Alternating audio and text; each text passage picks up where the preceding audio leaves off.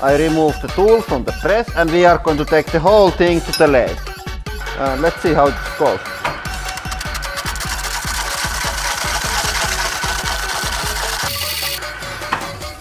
Yep, almost there. I tightened this little bit more. So let's have a look. Holy! It looks really nice. Yeah, it's stuck it just I thought, but let's try to get it out with this. I think it's not very hard there. Yep, so I'm holding it on its place with the press and then I'm going to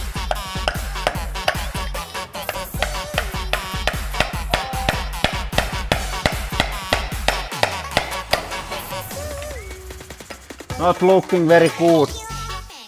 So now we have hold here and I'm going to use air gun and I'm quite sure that it's going to come out. Ta-da!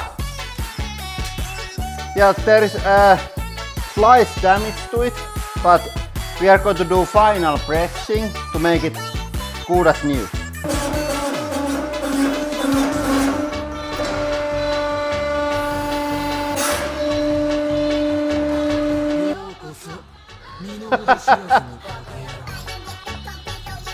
Yeah, looks pretty cool to me. Listen. It's completely solid. And then we are going to make the handle from this aluminium foil ball.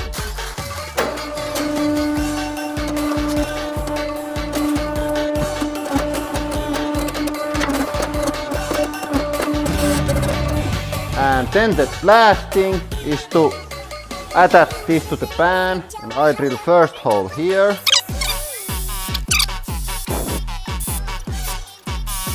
and I have hammer here so this goes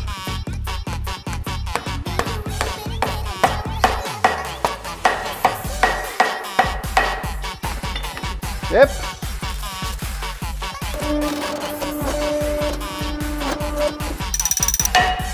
Yeah, now it's ready. It's the part 2. Yeah, looks really safe.